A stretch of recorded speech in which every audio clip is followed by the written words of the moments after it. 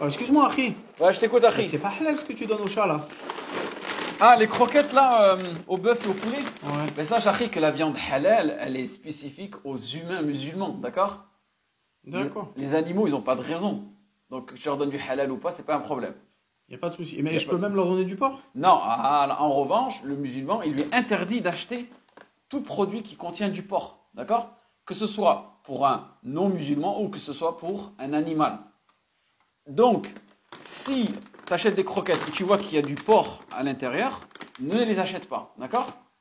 D'accord. Mais en revanche, si c'est au bœuf, au poulet. Ouais, si c'est au bœuf, au poulet, alhamdoulilah, tu peux, il n'y a pas de problème. Et il y a des gens aujourd'hui qui te disent, ouais, moi j'achète de la viande halal pour mes chats. Et s'ils veulent faire ça par éthique, tant mieux pour eux, tu vois. Mais euh, il n'y a aucune obligation à faire cela, d'accord? D'accord, c'est pas une obligation. C'est pas une obligation. Et par, je vais donner un exemple. Par exemple, je sais pas moi, tu es un fermier, ton poulet vient de mourir. Tu as un Mhm. poulet, une poule qui vient de mourir.